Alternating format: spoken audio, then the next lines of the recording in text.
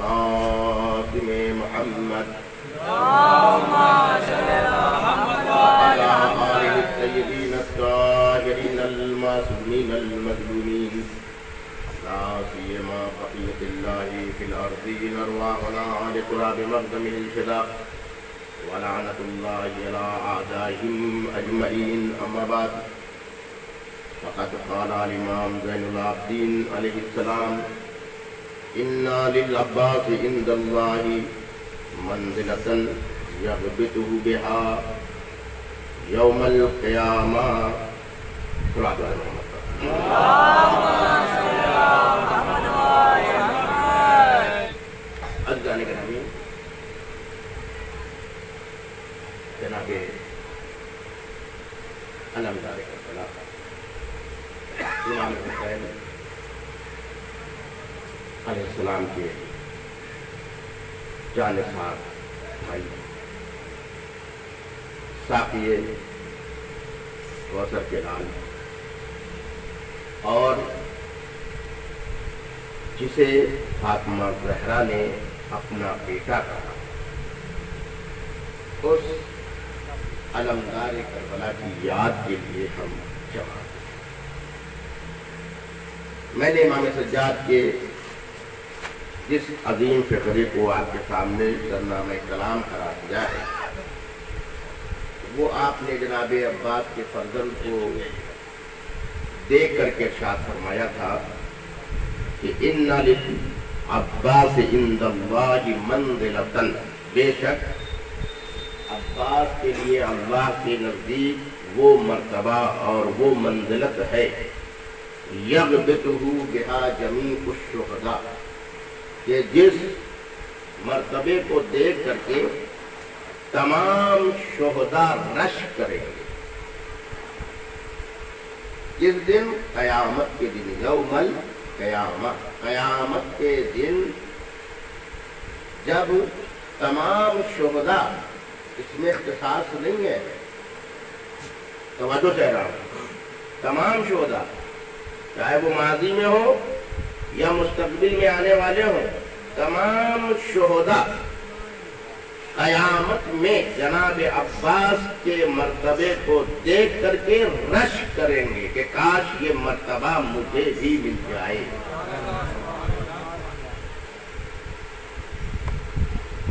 अब एक जुमला कहना चाहता हूँ कि जनाब अब्बास दुनिया में भी काबिल रश्क है और आखरत में भी काबिल रश्क है। काबिल रश्क है? सिर्फ़ कयामत में ही काबिल रश्क नहीं है। दुनिया में भी क्या है? काबिल रश्क। और एक इम्तियाज़ आपका मैं बता दूँ। मौलाए कायनात ने इस कदर अलमदारी की। आप जानते हैं कि पैगंबर ने हमेशा उनको अलम दिया। लेकिन उसके बावजूद भी अलमदारी मौला अली के नाम का जुज नहीं बन पाया। तो बजो कह रहा हूँ अक्सर जंगों में पैगंबर ने मौला कहना तो क्या किया है? अलम दिया है। और हर जगह उन्होंने अलमदारी का धर्म भी कायम रखा। है या नहीं? बल्कि मौलाए कायनात को देख करके हमें समझ में आता है कि अलम उठाने का हक किसको है। सब बयान किए ना? जंगे खैबर में जब मौलाए कायनात को अलम दिया है तो पैगंबर ने कुछ सिफात बयान की इसीलिए अजीजो जुमला मैं कहना चाहता हूँ, अपनी कौम से,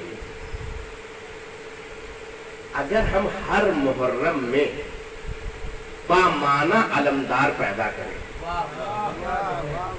ये शौक है बच्चों में अलम खाने का, लेकिन हमारे अंदर कमी ये है कि हम उनके अंदर ये जज्बा तो पैदा करते हैं कि वो अलम उठाएँ, लेकिन हम उनको ये नहीं बताते कि अलम उठाने वाले के अंदर कुछ सिफात होनी चाहिए।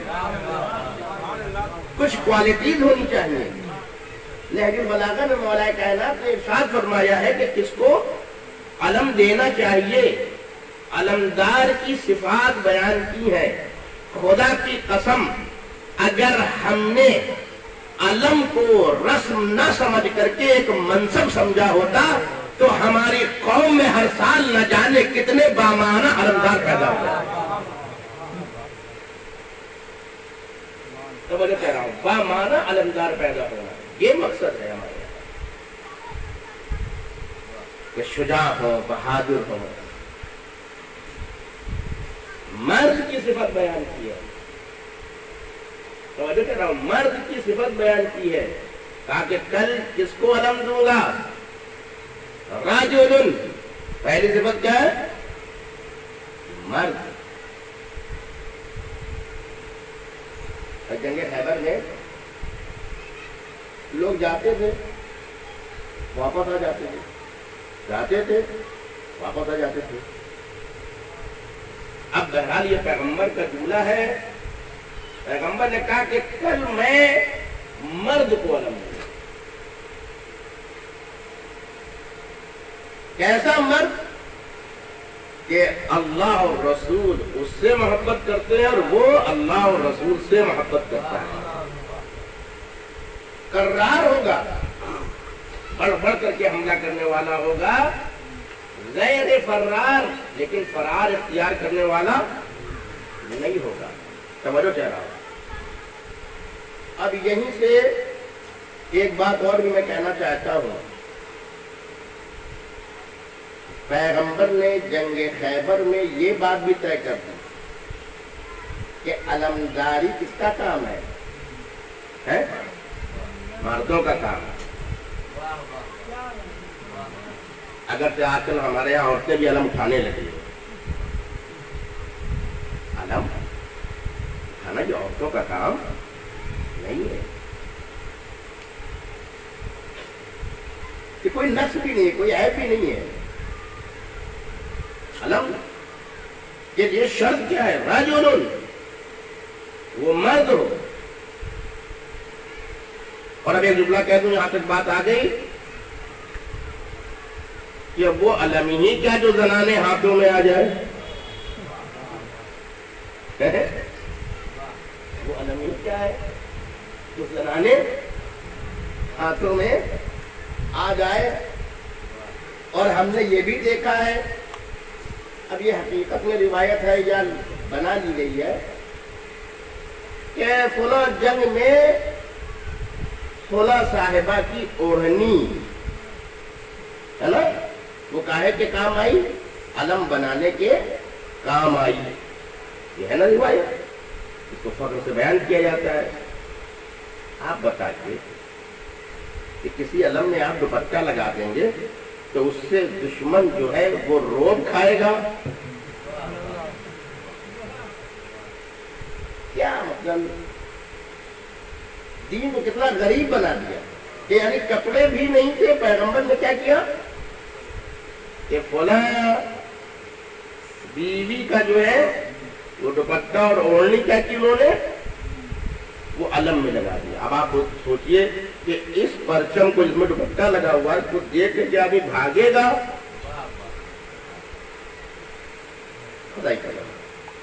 तो ये दर हकीकत वही है। इसीलिए पैगंबर ने कहा कि अलम का ताल्लुक रजुल से है। ये रजुल से है, इसमें कोई जरानापन न उठाने वालों में आ सकता है, न उसके अनासिर में आ सकता है।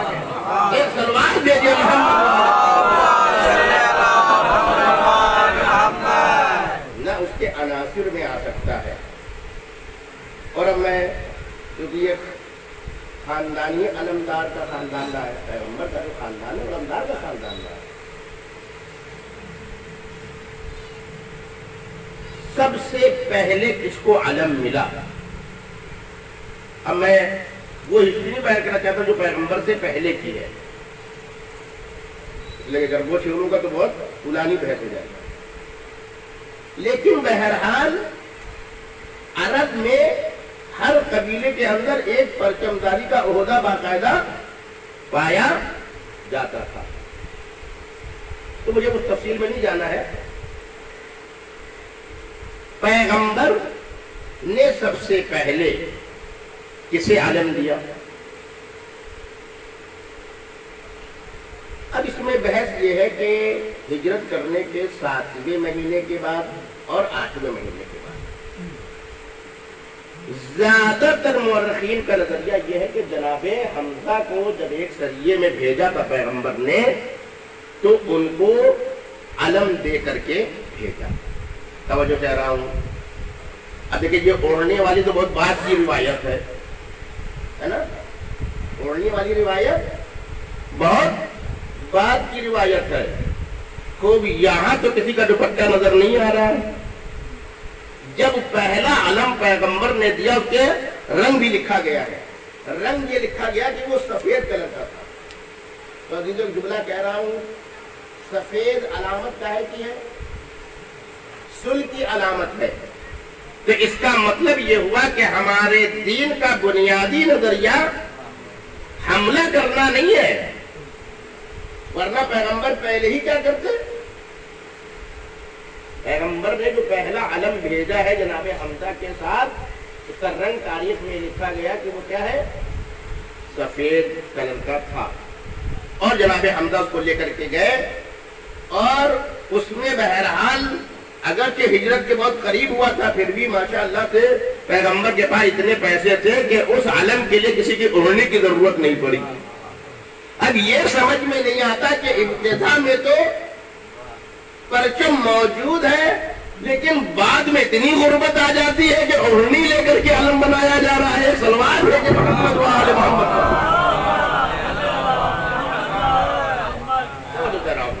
तो ये दो बातें हैं। एक ये कि जनाब उबैदा बिन हारिस तो उबैदा बिन हारिस भी कौन है? पैगंबर के चचाजाद भाई। और जनाब हमजा भी कौन है?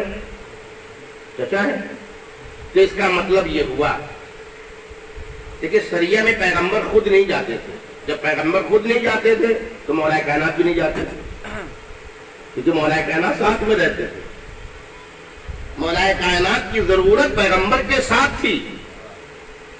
इसीलिए जिस जंग में पैगंबर गए, जैसे बद्र तो बद्र में मौलानी को अलम मिला या नहीं मिला? तारीख में लिखा कि तमाम जंगों में जिसमें पैगंबर शरीक हुए, उसमें अलम किसको दिया गया? मरकजी अलम, मौला अली को दिया गया। बहरहाल, मैं तारीख पढ़ना नहीं चाह रहा हूँ, मैं सिर्फ़ यहाँ पर एक बात आपके इशारे करना चाहता हूँ कि इस घर की तारीख ही क्या है? अलमदारी की तारीख। जनाब हमजा चचा है? पैगंबर के मौला कायनात के पहले अलमदार बने पहला आलम उनको दिया गया। या जनाब उबैदा बिन हारिस तो वो भी क्या है चचाजाद भाई इन्हीं दोनों में इख्तलाफ है राबियों के दरमियान बात कहते कि जनाब उबैदा को पहला दिया गया।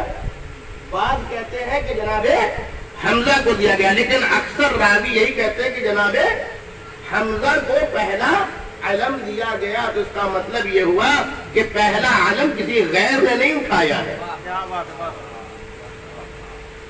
समझ कह रहा हूँ।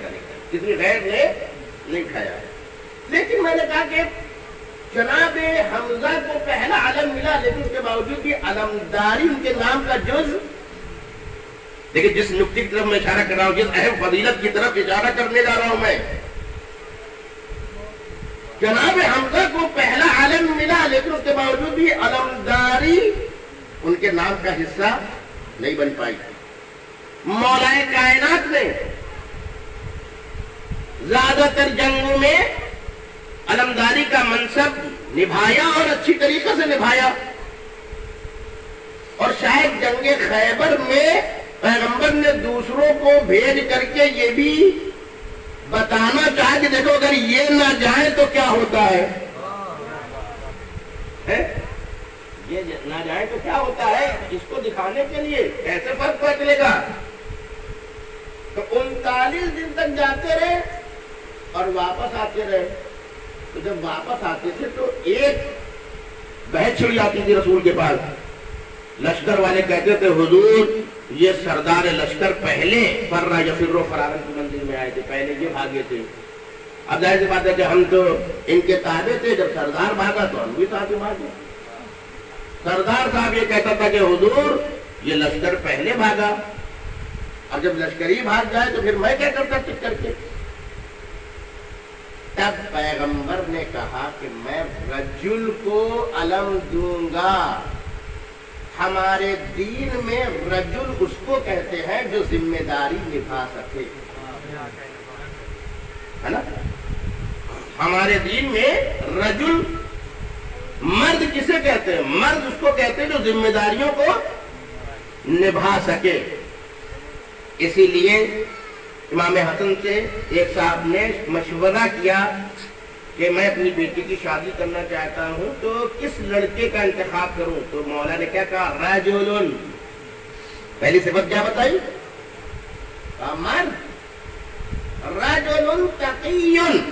दो सिफत बयान की। कहा, एक, मर्द को तलाश करो कि जो खौफे खुदा रखता हो। क्योंकि अगर रजुल तकी होगा तो मैदान ज़िंदगी के फराइज को निभाएगा फरार नहीं करेगा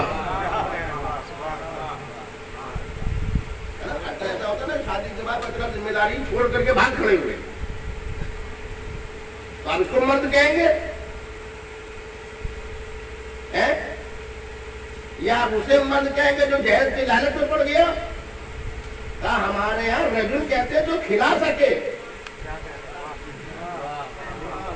जरा रजुल का मतलब है कि जो खिला सके बीवी पे नफका है या मर्द पे नफका है?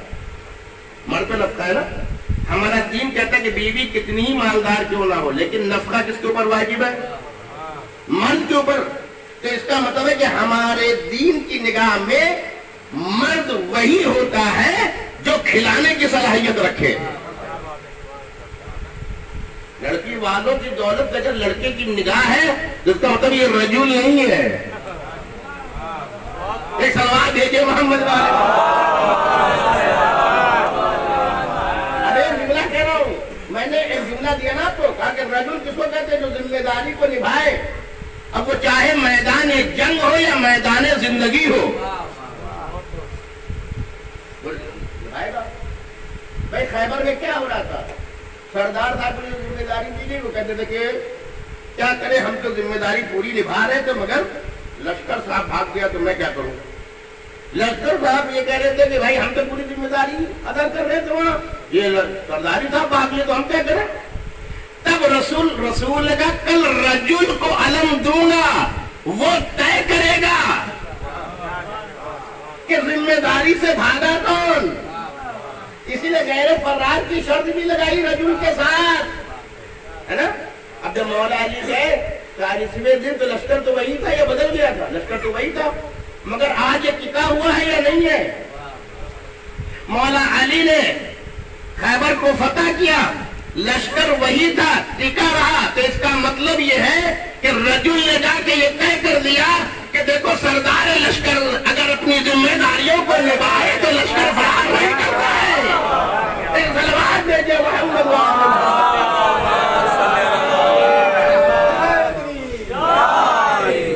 अब अगर आपने मेरी बात यहाँ तक सुन ली है। तो इतनी जंगे निभाई मौला अली ने अलमदारी के फरायद अंजाम दिए।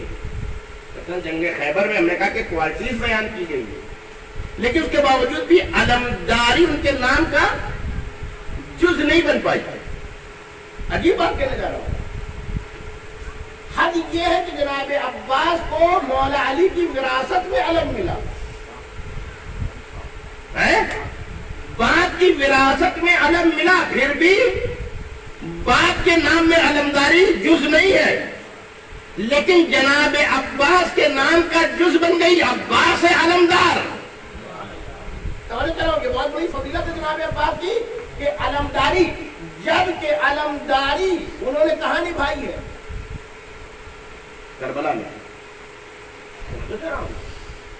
तो आखिर अलमदारी का जो फरीदा है और जंगों में शिरकत तो मिलती जनाब अब्बास को लेकिन अलमदारी का तस्करा नहीं मिलता उसको दीन में मौला जनाब अब्बास की जंग की शिरकत तो है लेकिन अलम का तस्करा नहीं तो वहाँ अलम दिया गया चढ़ा यानी जनाब अब्बास को करबला ही में अलम मिला लेकिन इस तरीके से अलमदारी का मनसब निभाया कि कयामत तक उनके नाम का जुज बन गया अलमदारी और अभी एक बहुत बड़ी फजीलत आज की खिदमत में अर्ज़ करने जा रहा हूँ। जो मैंने कहा ना कि जनाब अब्बास, कयामत में भी काबिल रश्क है और दुनिया में भी क्या है? काबिल रश्क है। तो दुनिया में रिश्ता करने वाली एक शख्सियत है। और एक जुमला कह दूँ जनाब अब्बास की शख्सियत यह है कि बातिल चाहता है कि वो हमारे साथ आ जाए। और हक चाहता है कि वो हमारे साथ रहे। करबला में यह है ना, किसी और को अमान नामा की पेशकश की गई। ये शिवर जो आया था अमान नामा लेकर के जनाब अब्बास को, हकीकत क्या है? वो जनाब अब्बास को तोड़ना चाहता है ना, अपने, इसका मतलब एक जुमला कह रहा हूँ लश्कर यजीद इतना बड़ा था।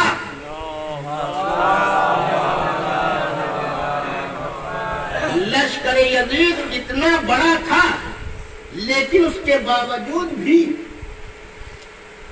वो अपने को कमतर महसूस कर रहा था और ज़रूरत महसूस कर रहा था कि काश अब्बास हमारी तरफ़ आ जाए।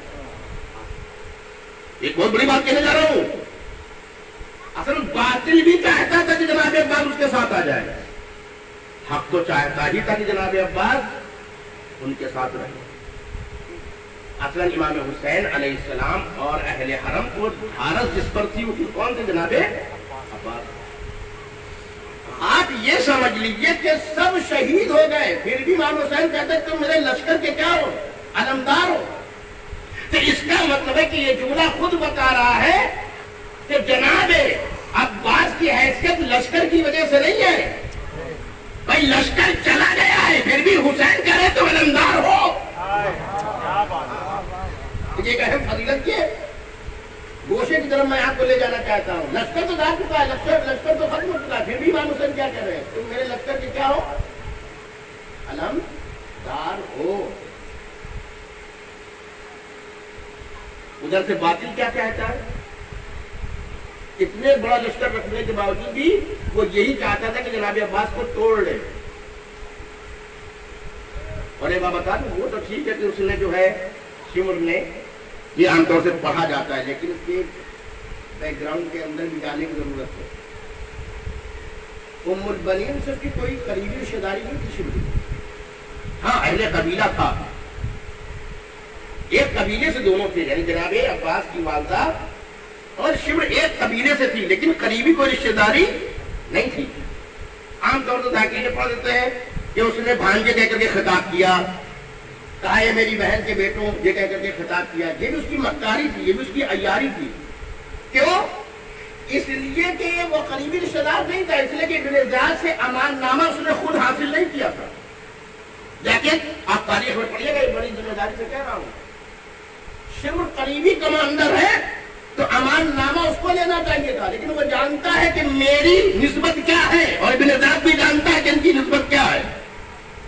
इसीलिए उसने अब्दुल्ला इब्ने अबी महल को भेजा, जो मुलबनीम के भांजे लगते थे। रिश्ते में भांजे लगते थे। इसका मतलब शिव का कोई करीबी रिश्ता नहीं था। उसने अमान नामे के लिए उनको भेजा, अब्दुल्ला को भेजा और उन्होंने जाकर के इब्रेजा से क्या किया? अमान नामा हासिल किया। और ये सिर्फ़ एक साजिश थी शिमर की, जनाब अब्बास को तोड़ने की। तवज्जो चाह रहा हूँ, मैं भी बड़ी दयानतदारी के साथ बात करना चाह रहा हूँ। वो इस बुनियाद पर नहीं उनको अमान नामा देना चाहता था कि ये क्या है? उनके कबीले की बेटी के फर्जंद है या आम जबान में कहते हैं कि भांजे हैं। खुदा की कसम, ये मसला नहीं था। वो चाहता था कि अगर अब्बास को हमने तोड़ लिया तो हुसैन तनहा हो जाएँगे। असली बात थी, यही वजह है कि जब अमान नामा देने के लिए आया है, तब तो ये कहता हुआ नज़र आया कि कहाँ है हमारी बहन के बेटे? ये जुमला उसके। शिमर के, कहाँ है हमारे बहन के बेटे? तो जनाब अब्बास ने कोई जवाब नहीं दिया न जनाब अब्बास के भाइयों ने कोई जवाब दिया? तो जनाब इमाम हुसैन ने जनाब अब्बास से कहा बोलो इनकी ये फासिक है, लेकिन इसका जवाब दो। तब जनाब अब्बास आए कहा कहना क्या चाहता है? कहा, हम तुम्हारे लिए अमान नामा लेकर के आए हैं। कहा, तेरे, तुझ पर भी और तेरे अमान नामे पर लानत हो। है? हमारे लिए तो तू फ़िक्र कर रहा है जो फरजंद रसूल है। तो अजीजो, यहाँ पर उसने क्या कहा? हमारी बहन के बेटे। जिसकी साजिश मक्कारी की। अगर वाकई वो इतना ही अपने को करीब समझता था तो अब जब जनाब अब्बास जो है, पानी लेने के लिए गए हैं, शहादत से पहले की बात कर रहा हूँ, क्योंकि आप कई मतबा गए हैं पानी लेने के लिए। बाल मतबा पानी लेकर के भी आए। दस दिन में बाद मौकों पर आप पानी लेकर के आए हैं। तो एक बता जब आप जाते हैं, ये शब आशूर की बात का मरहला जो शब आशूर का नाम वो लेकर के आया था। ये जो रिवायत पढ़ रहा हूँ, ये बात का है कि जनाब अब्बास जब जाते हैं और उस वक्त शिविर में और जनाब अब्बास में गुफ्तगू होती है। अब यहाँ पर नहीं कहता, मेरी बहन के बेटे, बल्कि क्या कहता है यहाँ पे? यहाँ पे कहता है, ए फरदंद अली, तवज्जो दे रहा हूँ तो इसका मतलब ये है कि वहाँ भी जब अमान नामा लेकर लेने के लिए आया था तो रिश्तेदारी की बुनियाद पे नहीं था। हैबत अब्बास की वजह से वो उसको तोड़ना चाहता था इन सलवात में ये मोहम्मद ये बहन पोसे की तरफ़ इशारा किया मैंने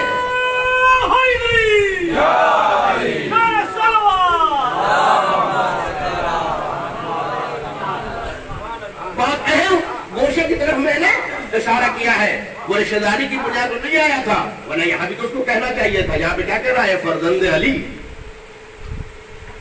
अब तोड़ने में क्या हो गया? नाकाम? हो गया। तो इसका मतलब यह है कि वही मैंने कहा जनाब अब्बास की हैसियत इस दुनिया में यह है कि बातिल चाहता है ये हमारी तरफ़ हो जाए। हक तो चाहता ही था कि वो हमारी तरफ़ रहे और वो हमेशा हक की तरफ़ रहे। तवज्जो कह रहा हूँ। तवज्जो का जुमला कह रहा हूँ। इतनी अहम शख्सियत है कि हक भी चाहता है कि हमारे साथ रहे बातिल भी चाहता है हमारे साथ रहे। अरे दुनिया में ऐसी पर्सनालिटी लाओ कि बातिल भी रश कर रहा हो और हक भी रश कर रहा हो एक सलवार दे दे मोहम्मद वाले मोहम्मद तो अब मैं आपकी खिदमत में यह बात अर्ज़ कर रहा था कि वलाय कायनात ने इस कदर अलमदारी की, लेकिन अलमदारी उनके नाम का जुज जनाब हमजा को पहला अलम मिला, लेकिन अलमदारी उनके नाम का जुज नहीं बनी। लेकिन जनाब अब्बास को करबला में अलम मिला, लेकिन इस तरीके से उसने अलमदारी का फरीदा निभाया कि आज तक वो अलमदारी उनसे वाबस्ता है। और अब एक रिवायत आपको पेश करने जा रहा हूँ लेकिन कोई बहस मैं यूँ ही नहीं, छोड़ता हूँ, ये सब रिवाजत के अंदर से निकलता है मामला। मेहनत इंसान की होती है, लेकिन असल फ़िक्र मेरी नहीं है। मैंने इसको हासिल किया, मगर किसके ज़रिए से हासिल किया? रिवाजत के ज़रिए से हासिल किया। अजीब बात है कि मैंने एक रिवायत पढ़ी।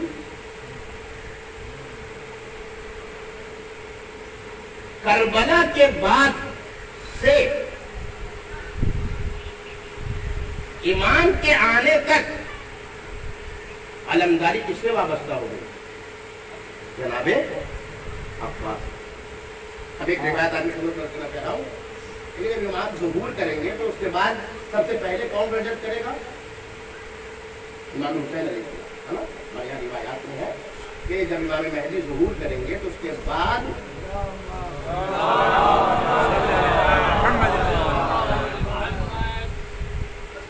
सबसे पहले जो रजअत इमाम करेंगे, वो कौन है? इमाम हुसैन और जब इमाम जमाना शहीद हो जाएँगे तो उनको गुस्ल कफन कौन देगा? इमाम हुसैन। अजीब बात है, एक अजीम इनकलाबी को एक अजीम इनकलाबी गुस्ल कफन देगा। ये तो है ना? इमाम जमाना अजीम इनकलाब बर्पा करेंगे पूरी दुनिया में आकर के तो नस्ल इमाम हुसैन अब मैंने इस रिवायत में बहुत मनखेज रिवायत है। मैंने कहा ना कि क्यों जो है, वो कयामत में शोहदा निपटा कर रहे हैं उनके ऊपर। और हमने कहा कि आलमदारी जनाब अब्बास के नाम का क्या बन गई? जुज बन गई। अब इस रिवायत में कि जब इमाम हुसैन सलाम रजात करेंगे और उसके बाद जब इमाम शहीद हो जाएँगे तो हुकूमत कौन करेगा? इमाम हुसैन करेंगे। अब उसी रिवायत में यह लिखा हुआ है कि जब इमाम हुसैन वापस आएँगे तो जनाब अब्बास भी साथ में होंगे और अलमदार होंगे। तो इसका मतलब है कि करबला के बाद से लेकर के अभी अलमदारी खत्म नहीं हुई है। अगर खत्म होना था तो भी अलमदार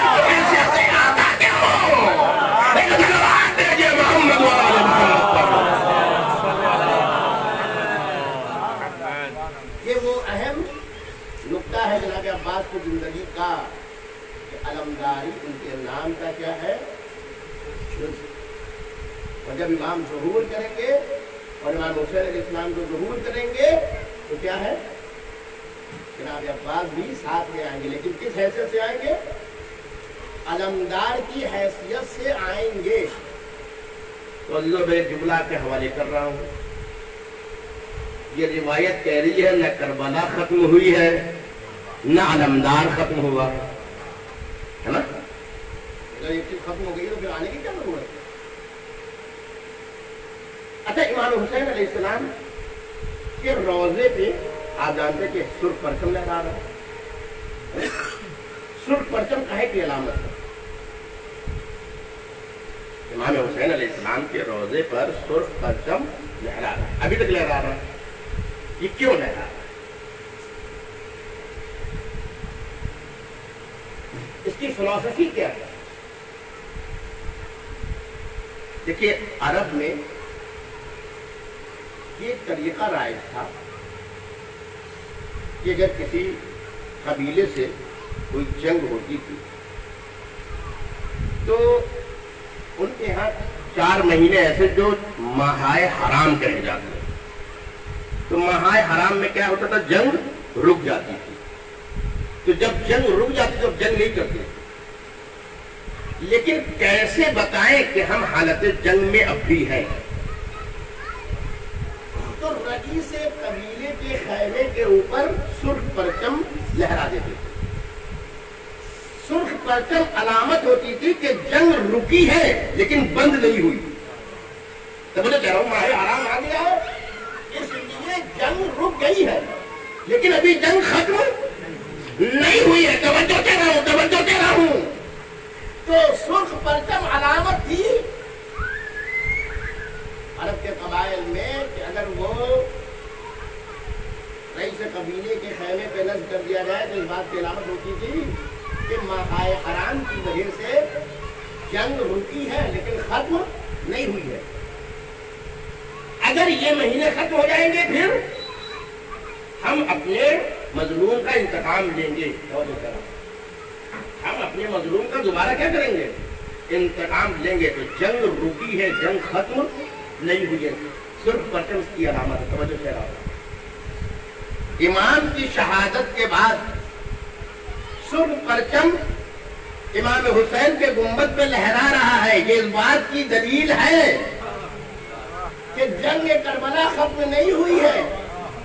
अभी महाय हराम चल रहे हैं, रुकी हुई है। लेकिन जब उसका बारिश आएगा, समझो कह रहा हूँ जब उसका बारिश आएगा, यही वजह है, यही वजह है। अब मैं दलील दे रहा हूँ आपको।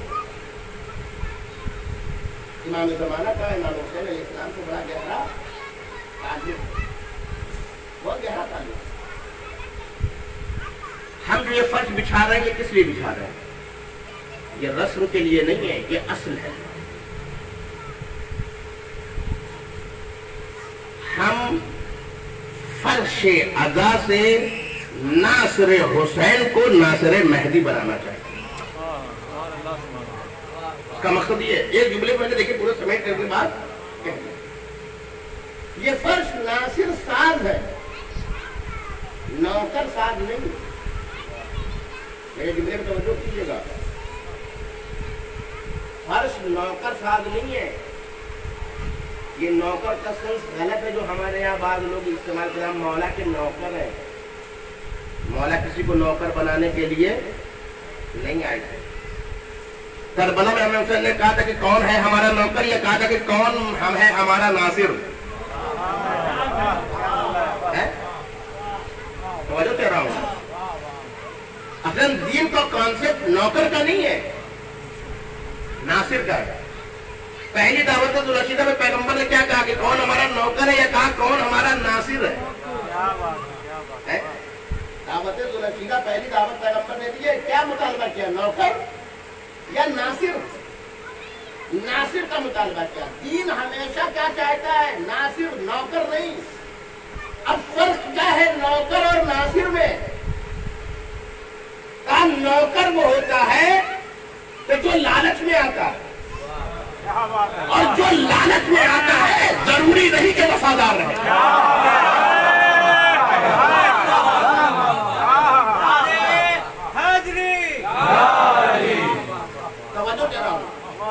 नौकर का जो कॉन्सेप्ट है, वो लालच के साथ होता है। आज तक तो आप जानते ही है। दूसरी कंपनी ने जरा सा बढ़ा दिया पाँच सौ रुपए इस कंपनी की दूसरी कंपनी से ले गए क्या ये नौकर है? है ना? नौकर क्या कर सकता है? जरा सा लालच हुआ, उसने नौकरी बदल दी। लेकिन जो नासिर होता है, मौला अली नौकर बन के आए थे, नासिर बन के आए थे। नासिर बन के आए थे ना, अब समझ में आया क्यों रसूल का जनाजा रखे हुए हैं और बैठे हुए हैं? जो नौकर बन करके आए वो हुकूमतें तय कर रहे थे। जो नासिर बन करके आया उसके लिए रसूल का जनाजा इतना कीमती है तो हुकूमत जाए तो जाए। याद रखो जो नौकर बन करके आते हैं वो वैसे ही चले जाते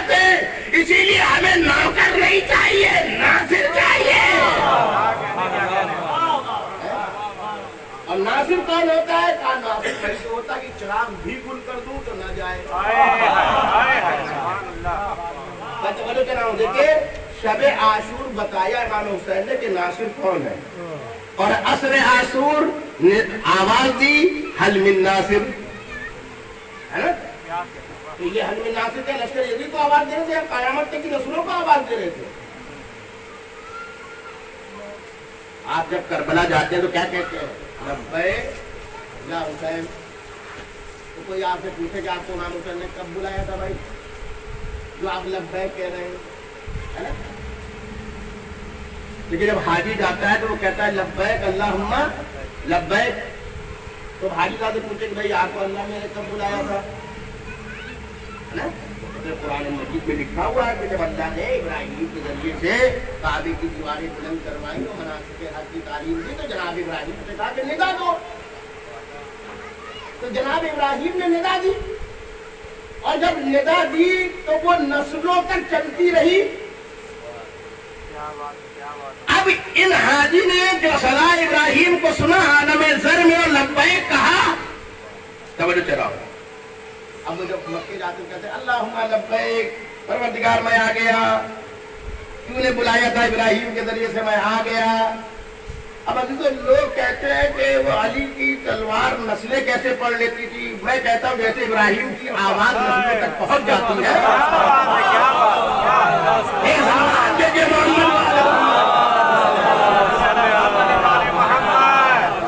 जनाब इब्राहिम की आवाज़ नस्लों तक पहुँची या नहीं पहुँची? इसीलिए हाजी साहब से कहा जाता है जब आप जब ज़ाहिर के लिए लब्बैक परवरदिगार तूने बुलाया था इब्राहिम के ज़रिए से हम आ गए बगैर दावत के नहीं आए हैं। हमें तूने कार्ड भेजा था इब्राहिम के ज़रिए से।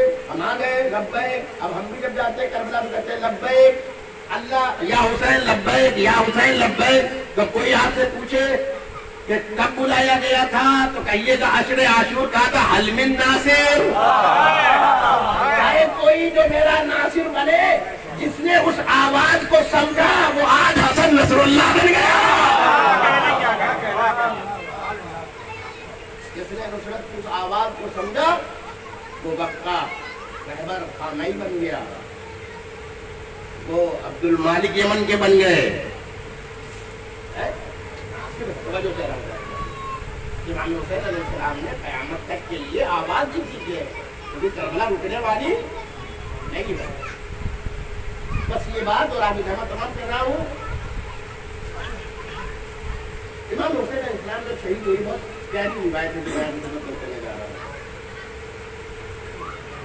जब इमाम शहीद हुए, अब पूरी रिवायत नहीं पढ़ूँगा, ये चार हज़ार फरिश्ते, ये कौन से फरिश्ते हैं और इनका बैकग्राउंड क्या था, ये सब मैं छोड़ रहा हूँ अगले वक्त में। गुंजाइश नहीं है और ज़ाहिर सी बात है कि मैं ये भी देख रहा हूँ कि बहरहाल, मैं पहले भी यहाँ आया हूँ, लेकिन इस तरीके का माहौल नहीं था। आज इतना बड़ा प्रोग्राम हो रहा है, लेकिन उसके बावजूद भी मैं वो जज्बानी देख रहा हूँ। तो बहरहाल, इमाम हुसैन अलैहिस्सलाम जब शहीद हुए मैंने कहा कि परचम सुर्ख लहरा रहा है ये काय की अलामत है कि जंग रुकती है। खात्मा नहीं होती ये चार हज़ार फरिश्ते जो इमाम हुसैन की नुसरत करना चाहते थे। अब देखिए तफसीली रिवायत है, इसको मैं जमा करके बयान, नतीजा से बात की खिदमत दर्ज कर रहा हूँ। जब तक कभी हम आजकल हमारे यहाँ ये भी पेचीदगी पाई जाती है कि आदमी एक रिवायत पढ़ता है उसको फ़ौरन फारगत कर देता है जबकि वो एक रिवायत नहीं है और भी उसके साथ क्या है रिवायतें फिर कंफ्यूजन पैदा होता है इसीलिए हमारे यहाँ फकीर की ज़रूरत थी लेकिन अब आजकल तो व्हाट्सएप रावी हो गया है हम तो जब वो राज़ी थे तो उनको भी बगैर छान पटक के उनको मानते नहीं थे, अब तो हज़रत वासिफ रावी बन गए। ले धड़ाधड़ तो एक उंगली चलाना रिवायत फॉरवर्ड बाद ऐसे भी फॉरवर्ड करते जब उनसे पूछता हूँ, भैया, ये कहाँ से तुमने लिखे अरे, कहा इमाम ने लिखा तो मैंने भेज दिया आपको। मैं कहा पढ़ तो लेते कि क्या लिखा है? कहा वो मौला का नाम लिखा था, भेज दिया। अब आप ये सोचिए कि ऐसे जब नादान मुहिम आज पाए जाते हैं तो पहले भी तो रहे होंगे। इसलिए हमारे यहाँ हर रिवायत को सही नहीं माना जाता है। वो चाहे उसने काफ़ी के अंदर लिखा हो। इसलिए हम सही काफ़ी नहीं कहते हैं।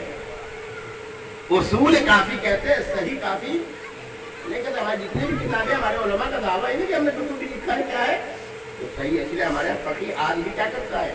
छान मेरा दामन वक्त में गुंजाइश नहीं है, मैं उन तमाम रिवायतों का निचोड़ आपकी खिदमत में कर रहा हूँ। और ये मैं आपको एक मैसेज देना चाहता हूँ।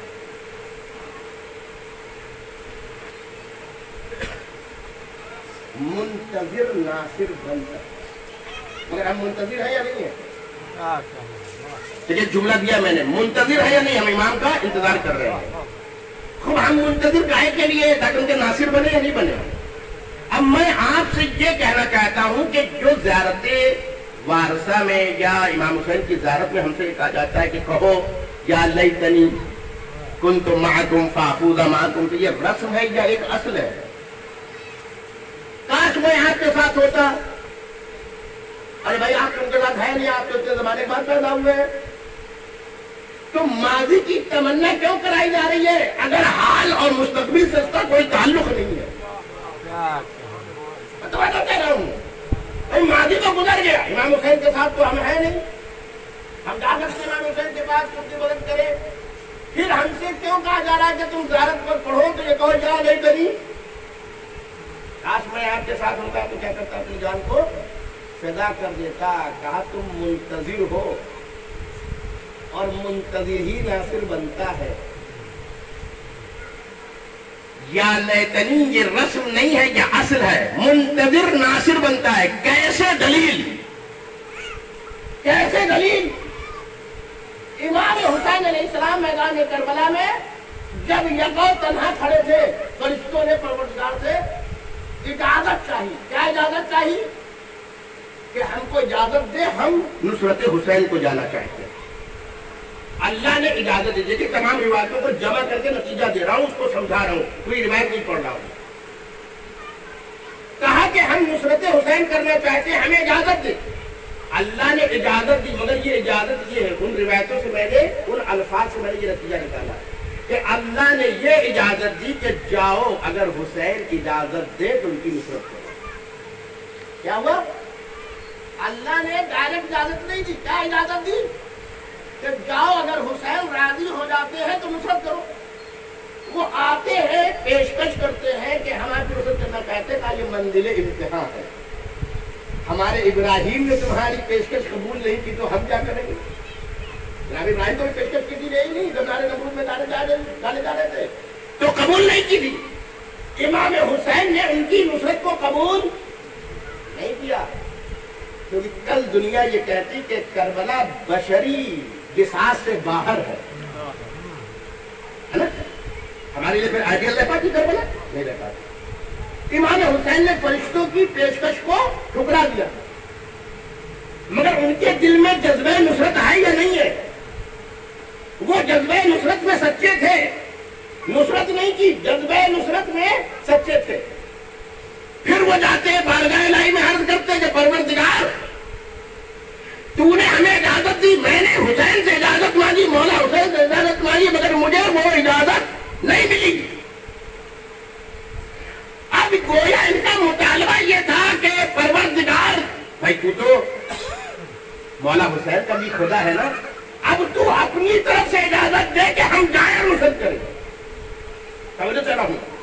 इमाम से इजाज़त नहीं मिली, लेकिन अब हमें तू इजाज़त दे ताकि हम नुसरत करें।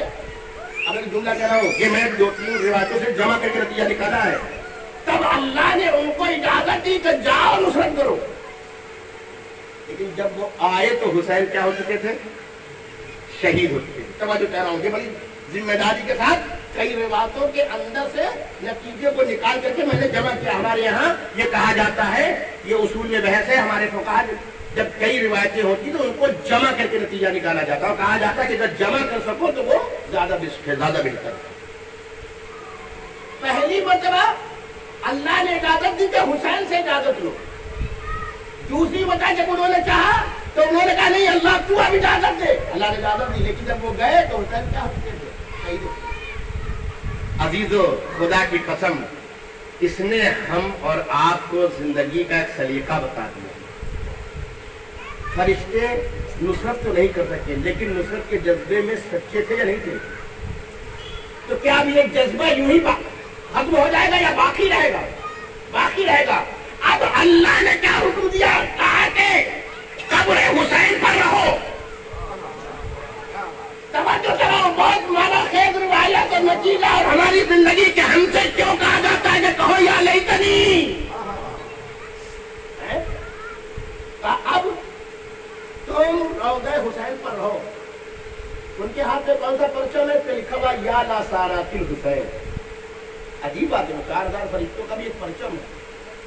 उस पर क्या लिखा हुआ? या ला सारा तिल हुसैन। रिवायत में जाके पढ़ लीजिएगा। कहा, चार हज़ार फरिश्तों, क्योंकि तुम्हारा जज्बा था कि इमाम की नुसरत करे। हुसैन फर्द का नाम नहीं है, एक कैरेक्टर का नाम है। ये अबुल इम्मा है अबुल इम्मा तुम इसकी रुसत नहीं कर सके लेकिन जज्बा साजिश था तो महरूम नहीं रहोगे।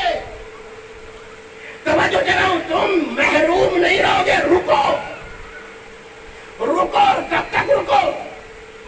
का जब तक हुसैन का बारिश मक्के से जहूर ना करे। मैं तो कह रहा हूँ अगर नुसरत का जज्बा सच्चा है तो महरूम नहीं रहोगे। या लेतनी कुन तुम महरूम नहीं रहोगे। वारिस हुसैन ज़िंदा है, आएगा। ये फरिश्ते नुसरत करना चाहते तो नुसरत नहीं कर पाए। अल्लाह ने कहा कि यही रुको।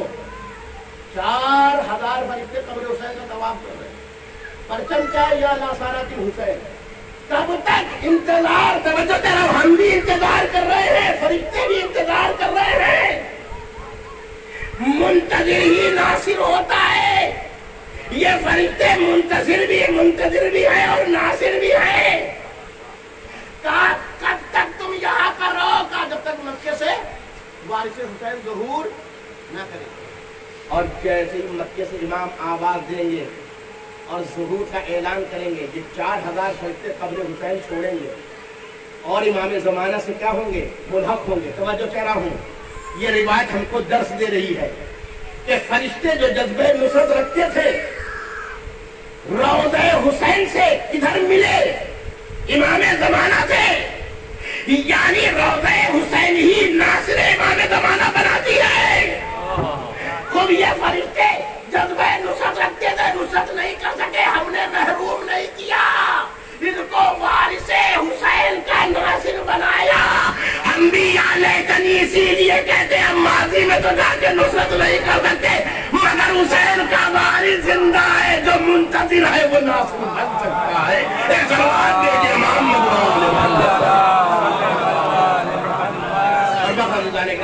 बात को मैं यहीं पर खत्म कर रहा हूँ और जब ये फरिश्ते अपना अलम लेकर के जाएँगे और से मुसलम करेंगे, ऐसे ही हम भी हज़रत अबी फजील अब्बास इस्लाम ईजाद में आप खिलाफ करते बड़ी अजीम शख्सियत। ने कहा ना कि इमाम सज्जाद ने फरमाया कि कयामत के दिन तमाम शोहदा जनाब अब्बास की मरतबे को देख करके रश करें। एक से एक गुजरे हैं, और वो क्या करेंगे? अब्बास ने जो कुर्बानी दी, अब जिसको मोती कहा गया। अजीब बात है जनाब अब्बास में जो मोती का लफ्ज इस्तेमाल किया गया, उसमें अल्लाह का मुती रसूल का मुती अमीरुल मोमिनीन का मुती इमाम हसन का मुती इमाम हुसैन का तसलसल बयान इमाम हुसैन की इताहत की है, लेकिन इमाम हुसैन की इताहत नहीं है, इमाम हसन की इताहत है। मौला अली की इताहत है, रसूल की इताहत है, अल्लाह की इताहत अजीब के लिए मैं कहना चाहता हूँ, अगर किसी को जज्बाती तौर से, किसी चीज़ से वाबस्ता कर दिया जाए तो वो क्या होता है? बहुत जज्बाती आ जाता है ना। मैं ये समझता हूँ जनाब अब्बास को करबला के हवाले से बहुत जज्बाती बनाया। हमेशा ये कहा गया कि अब्बास, तुमको करबला के लिए चाहा गया तुमको करबला के लिए चाहा गया आप बताइए। अब्बास को बहुत ज़्यादा जज्बाती बनाया गया करबला के हवाले से। लेकिन उसके बावजूद भी जब करबला आई तो उसको जज्बात निकालने का मौका नहीं। बहुत बड़ी फजीलत है जनाब अब्बास। जज्बात आप देखिए आप लोग तेरह साल से इंतज़ाम कर रहे हैं। आप जज्बाती एतबार से क्या है इससे चोर अगर कोई छीनना भी चाहे तो आप इसको क्योंकि तो आप जज्बाती तौर से आप इससे क्या है जगाव आप सोचिए जिसे बचपने से ये बताया गया हो कि तुम्हें तुम्हारे बाबा ने करबला के लिए चाहा खुदा की कसम किसी को इंतज़ार हो करबला का किसी को इंतज़ार हो या ना हो, लेकिन जनाब अब्बास को इंतज़ार है। इमाम हसन के जनाजे पे तीन बरसे शेर को जलान आया और इमाम हुसैन ने क्या कहा? भैया तुम करबला अल्लाह जहाँ भी जज्बात की बात आई, हमेशा करबला से जोड़ा गया। अब आप सोचे जनाब अब्बास को कितना इंतज़ार रहा होगा करबला? अब ये करबला में आ गए खैमे नस्ब कर दिए गए। अपने हाथों में खैमे नस्ब किए कागज़ खैमे को हटा लो। बहुत से लोग यहाँ पर कहते हैं कि जनाब हुसैन ने कहा कि मैं कब तक रोकू जनाब बाबू, ये कोई ऐसा मसला नहीं है। असल जनाब इमाम हुसैन अलैहिस्सलाम जनाब जैनब की हैसियत दिखाना चाहते तो जो हैसियत करबला में इमाम हुसैन की है, शहादत हुसैन के बाद वो हैसियत जनाब जैनब और इमाम सज्जाद की जनाब जैनब की हैसियत कैसे पता चले? इसको बताने के लिए इमाम हुसैन ने कहा कि जैनब, तुम अब्बास को बुलाओ और वो को।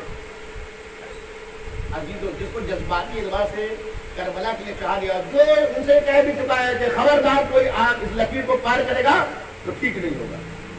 जो उनसे ये कह चुका है किसकी मजाल है कि जो इन खैमों को यहाँ से हटा ले है ना? सारी जज्बाती बातें है ना?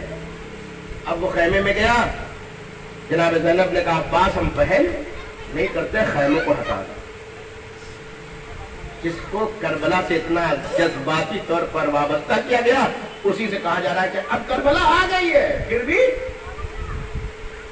शब आशूर जनाब जहर ने कैन ने कहा, क्या बात जानते हो? मौला अली ने तुम्हारी किसने तमन्ना की? सारी बातें जज्बात जज्बाती अटैचमेंट कहते कि शेर ने बताया अंगाई ली घोड़े का पेड़ ज़मीन से मिल गया। कहा कि, कल आने दो, फिर मैं बताऊँगा कि मेरे बाबा ने क्यों मिल अल्लाह जज्बात। मेराज पर जज्बात है।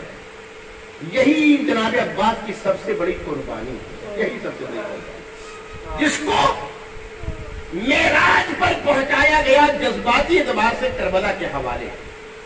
अब आप सोचिए कि उसी के सामने उसके गोद के पाले जा रहे हैं, वो अकबर जा रहा है, वो कासिम जा रहा है, वो आनो मोहम्मद जा रहे हैं। सब जनाब अब्बास की निगाहों के सामने असहाब जा रहे हैं। सब चले गए। अब कोई नहीं बचता है। वो शेर आता है, भैया, आका मुझे इजाज़त दे दीजिए।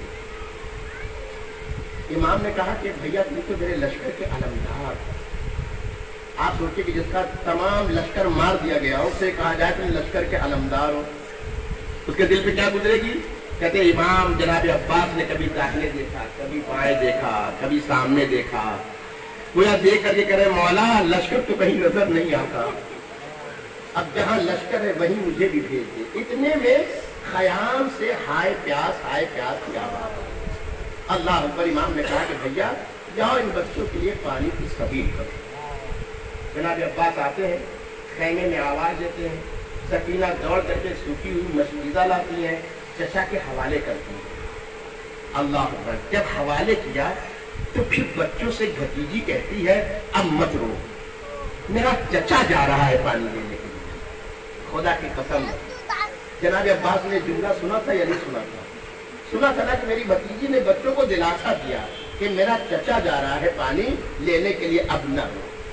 शेर आता है फुरात में अपने घोड़े को डालता है, पानी निकालता है, पानी भरता है, चुल्लू में लेता है। एक रिवायत मैंने पढ़ी है कि मौला अली ने वसीयत की थी जनाब अब्बास से। आखिरी वक्त में वसीयत की थी कि मेरे बेटे, जब तुम फुरात के अंदर जाना तो पानी न पीना अल्लाह ये रिवायत मैंने पढ़ी है। जनाब अब्बास से ये वसीयत की थी मौला अली ने। कि मेरे लाल जब तुम फुरात में चलाना तो पानी ना पीना कि आप तुम्हारा भाई हुसैन प्यासा हो तुम पानी पी लो सकीना प्यासी हो, तुम पानी पी लो बस अजीजा निगरानी। उस सखा की याद मना रहे हैं कि जिसकी याद के साथ पानी बरस रहा। अल्लाह काश तुम करबला में बरस जाते। यही वो पानी था जिसके लिए जनाब अब्बास जाते हैं करबला में। पानी को भरा, चुल्लू में लिया, उसके बाद उस पानी को फुरात पर मारा। पानी नहीं पिया। चले। वापस हो रहे थे। बस जल्दी जल्दी, दाहिना बाजू मुनकता होता है। बाया बाजू मुनकता होता है। फिर उसके बाद जो है, फिर भी शेर है, जो मस के तस्वीर को दांतों से दबाता है और आगे बढ़ता रहता है। वो मेरे साथ समझ गया कि अब्बास की जान इस मस्जिदे में उसने हुक्म दिया कि जल्द से जल्द इसके ऊपर तीर मारो, वरना जब तक इसके अंदर पानी है, इस शेर को कोई गिरा नहीं सकता। अल्लाह अकबर, सनसनाता हुआ तीर चला। ये कब चला? जब हाथों से खून बह रहा था। अल्लाह अकबर, जैसे ही ये तीर मशकीदे पे लगा, अभी तो अभी तक खून नहीं बहा था अब्बास का, लेकिन जैसे ही मशकीदे से पानी बहा, ये पानी नहीं बह रहा है, अब अब्बास का खून जिगर बह रहा है। यही वजह है कि जब तक पानी रहा, तब तक तो शेर आगे बढ़ता रहा। लेकिन जैसे ही पानी खत्म हुआ बावफा मुझे ले जाके क्या करेगा? वापस मुझे इन दुश्मनों के हवाले कर दे। काश आप करबला जाइए। मैं इस रिवायत को पढ़ता था, मैंने जाके वहाँ पर इस चीज़ को महसूस किया है। खयाम हुसैनी इस तरफ़ है। उसके बाद रोज़े इमाम हुसैन है। उसके बाद जनाब अब्बास का रौदा है। इधर जब आप जाइएगा तो दाहिना हाथ और बाया हाथ पड़ा हुआ है। इसका मतलब है कि शेर नहर फुरात से यूँ आता है, यूँ जाता है। खैमों की तरफ़ जा रहा था, हाथ कट गए। कहा कि मुझे वापस लेकर वापस लेकर के इधर आया। इसलिए जनाब अब्बास वही दफन किए गए हैं जहाँ पर आप गिरे थे। तो कह रहा हूँ तो रौदा यहाँ पर है, हाथ उधर है। तो इसका मतलब है कि घोड़ा वापस आया, तभी तो शेर यहाँ पर गिरा। अब जब वापस आए तो एक जालिम ने तो रहा हूँ हाथ कट चुका है। आँख में तीर लग चुका है। मस्कीदा बह चुका है। जालिम ने एक गुर गुर जानते हैं? लोहे का इतना बड़ा गोला होता था जिसमें कीले निकली होती अल्लाह अकबर। पूरी ताकत से वो गुर जनाब अब्बास के सरे मुबारक पर मारा जाता है। अल्लाह अकबर, अली का शेर त्योरा करके ज़मीन करबला पे गिरता जाता है। आप कभी गिरते हैं तो दोनों हाथों का सहारा ले लेते हैं। अल्लाह अकबर अब्बास सीधे घोड़े से ज़मीन पर तशरीफ़ लाए। अब अदील जुमला कह रहा इंसाफ से काम लीजिएगा। आँखों में तीर है या नहीं है? तीर है। हाथ कर चुका था। रिवायत के जुमले के मुँह के बल ज़मीन पर आए। तो आप सोचिए, वो तीर इधर से उधर निकला होगा या नहीं? अल्लाह, खुदा आपको किसी गम न रुलाए अब आवाज़ दी आका, सलाम, आखिर को कबूल करिए। हुसैन आगे बढ़ते हैं। कहते मेरी कमर टूट गई। मेरी कमर टूट गई। आगे बढ़ते जाते हैं। सबसे पहले आपको दाहिना हाथ मिलता है। ये रिवायत के जुमले हैं। जनाब अब्बास के हाथ का एहतराम।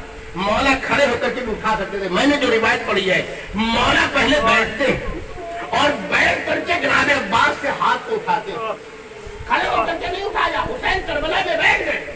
बैठ करके ये है हाथ का। जनाब अब्बास का आया सीने से लगा लिया आँखों से लगा लिया उसके बाद आगे बढ़े। देखा बाया हाथ रिवायत के यही क्यों लेके फिर बैठ गए। खड़े होकर के भी उठा सकते थे।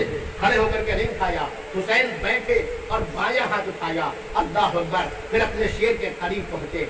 जैसे ही शेर ने महसूस किया कि कोई आ गया, कोई आ गया तो अल्लाह अकबर महसूस किया कि भाई आ गया है, आका आ गया है, मौला आ गया है। ये भी जानते थे कि आका ने किसी के जनाजे को छोड़ा नहीं है तो मेरे भी जनाजे को ले जाएँगे। कहा कि, भैया, एक वसीयत करना चाहता हूँ। क्या है वसीयत? कहा, आका मेरे जनाजे को खैमे में न ले जाइएगा। क्यों? कभी आप जानते हैं, दो तो वजह है। एक तो वजह यही थी कि जब चले थे तो सकीना ने कहा था, बच्चों, रो नहीं। मेरा चचा जा रहा है, पानी लेकर के आएगा। अब जनाब अब्बास ये सोचते हैं कि जनाजा जाएगा तो मेरी भतीजी बच्चों के सामने ज़िंदा होगी।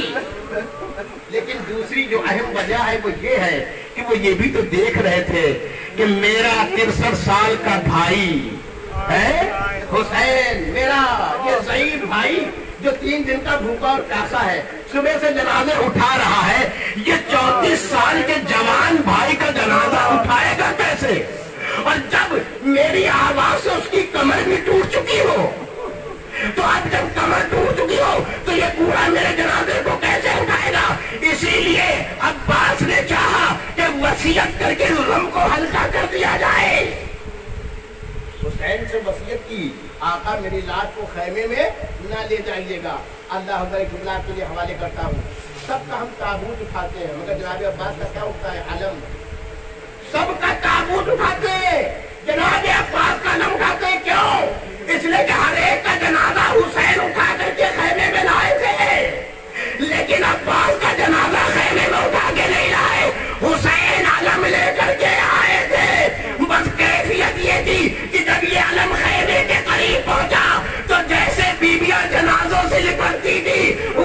ही बीबियों ने आलम अब्बास को अपने घेरे में ले लिया और इतने में चार साल बच्ची आई और एक जुमला का ए मेरे बाबा चचा से कह दीजिए मुझे पानी नहीं चाहिए मैं बगैर पानी के रह जाऊँगी क्योंकि अब्बास का आलम आया था, हम अलम उठाते हैं। अगर जनाजा उठता, हम ताबूत सयालमुल्लज़ीन ज़लमू अय्यामुल खलिकिन इन्ना लिल्लाहि परेशान परेशानी जो बीमार है उनको उनको रोजी अता फरमा उनको मकान अता फरमा बे औलाद उनको औलाद अता फरमा हम सबको हमारे सालिहा की तोफ़ी अता फरमा हम सबको बुराइयों से बचने की तोफ़ी अता फरमा परवरदिगार, हमें जिस तरीके से तोफ़ीक दी है कि हम अलम जनाब अब्बास उठाएँ। हमें ये भी तोफ़ीक दे कि हम उन सिफात और कमालात को अपने अंदर पैदा करें जो अलम उठाने की सलाहियत पैदा कर सके। परवरदिगार, हम सिर्फ़ याद हुसैन न मनाएँ, बल्कि पैगाम करबला को समझें और उस पर अमल करने की तोफ़ी अता फरमा परवरदिगार, जो हमारे दरमियान से गुजर गए हैं, हमारे वालदे, रिश्तेदार, अज़ीज़ वकारी जिन्होंने हमें फर्श अदा से मानूस किया, तमाम वो लोग जो कल तक इस फर्श अदा की दीनत से आज हमारे दरमियान नहीं है तेरह साल में जो लोग इसकी खिदमत करते थे आज हमारे दरमियान नहीं है। परवरदिगार उन सबको इस ज़िक्र हुसैन के, ज़िक्र अब्बास के सवाब में शामिल फरमा। उन सब के गुनाह ने सगीरा कबीरा को बख्श उनको हमसे राज़ी फरमा। हमें उनकी दुआओं में शामिल फरमा। उनको हर किस्म के अजाब कुशल अजाब कब्र अजाब बरदक अजाब नार से महसूस फरमा। परवरदिगार हम सब के गुनाह ने सगीरा कबीरा को बख्श परवरदिगार ये वबा जो फैली हुई है, इसका खात्मा फरमा। अब तक तूने हमें ज़िंदा रखा है, आइंदा भी इस वबा से महफूज करना परवरदिगार ज़िंदगी दी है तो राह हुसैन में लगा दे, राह औलाद हुसैन में लगा दे।